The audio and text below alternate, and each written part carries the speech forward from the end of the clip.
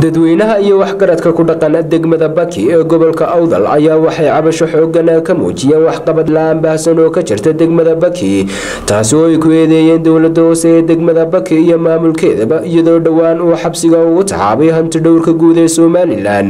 Xogayihii dowladda hoose ee degmada baki iyo xisaabiyihii maaliyadda ee dowladda hoose waxayna ugu baaqeen hanti dhowrka guud iyo xukuumadda somalilan in sharciga lala tiigsado lalana xisaabtamo dhammaan maamulka dowladda hoose ee degmada baki waxaana hadaladoodii ka mid ahaa. Aniga oo ka mid ah odayaasha degmada baki ama bulshada halkan waxaan ka ogeysiinaynaa badho saabka arrimaha gudaha iyo dhammaan laamaha ay khusayso. Oo ay ka mid yihiin maaliyadda. Waxa weeyaan halkan waxaa yimid sida la wada ogyahay odhadka jamhuuriyadda somalilan oo wata xisaabaadkiisii. Oo daba jooga hantiyaha jamhuuriyadda somalilan habka ay u baxeen iyo sida loo isticmaalay. Waxaa jirta waxa weeyaan inay ku kala qoran yihiin dad dhul la dhisay iyo waddooyin. Waxaan leenahay dib u eegis in lagu sameeyo hantidaasi waa hantidaa rag u xidhan yihiin ee ay maanta ugu jiraan jeelka. Waa mid lagu helay degmada wax loo qabtay oo dawladda hoose ay u qabatay. Ma hayno. Hadday dow tahay hadday dee danyar tahay hadday ballay tahay. iyo hadday kafan qof la geliyo tahayba mid ma hayno maanta waxaan leenahay waxaad yeelateen dawlad maadaama uu dabagalkii u xidhan yahay rag. Hantida ka soo baxday maaha mid annagu aan hayno oo waxaasaa laydin soo siililay oo wax iyagu gacanta ay ku hayaan. Dan wixii ay ku qabsadeenna waa wax iyaga ku kooban.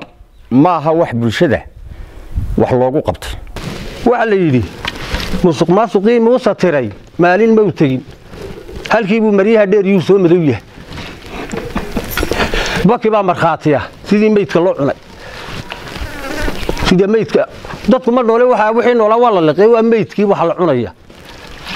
Baki intaa odayaalaha markhaatiya sidii meydka loo cunay. Waxaan ka cabanaynaa maanta sida lanoo cunay iyo sida lanoo galay iyo dadkaan doorannay. Maanta waxaan ku dheefsannay dabagalkaa yimidee waar maxaad cuntay? Maxaad qabatay? Maxaad dhintay yidhi? Dowladda somalilan baynan maanta ka mid ahay yaan ogaaday awalse ma ahayn. Waraabuunba halkan igu diiranayay. Waxaan leeyahay maanta maanta kol haddii dabagalkaasi noo yimid. War guddoomiyuhu isagaa meesha loo doortay oo ka madax hantidhowrka qaranka oo gudanaya shaqadiisii oo ku jira shaqadii qaranku oo idmaday oo yimid degmada baki oo ka mida degmooyinka qaranka somalilan ou dhex galay xisaabaadkiina wax ku helay qaarna ay xidhan yihiin qaarna ay dembiile yihiin dabadda joogaan. Kabacdi waxaa la sheegay in adeega bulshada ee asaasiga ee degmada baki lacagtaa wax lagaga qabtay. Way ka mid tahay caafimaadku way ka mid tahay waxbarashadu way ka mid tahay jidadku way ka mid tahay biyuhu. Waxaan ka xunnahay inay been abuur cad tahay taasi oon bulshada wax loo qabtay jirin. Waxa ka maraga oon caddaynaynaa. Soomaalidu waxay tidhahdaa ninka geela lagala hoolgay baa adhiga loo diraa. Waa mahmaa soomaaliyeed. Ninka gidaafadii ay qarisay magaalada ee dumarku intay gododaaradahooga ka qodaan ay ku aasaan. Taa wax ka qaban waayey. Ayaa jid wax ka qabtay de qof kastoo ilaahay waxgeliyeyba waa garanaya.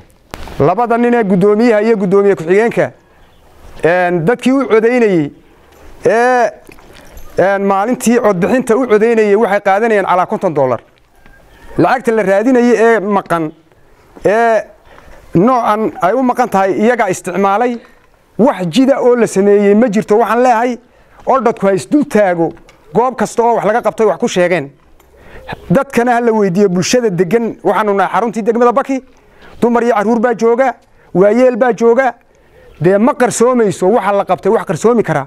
Maaha. Waxa weeyi waar degmada baki wax dowladda hoos ka qabatay ma jiro. Hadday waddo tahay waxba kama qaban. Hadday dan guuta waxba kama qaban. Hadday waxbarashada waxba kama qaban.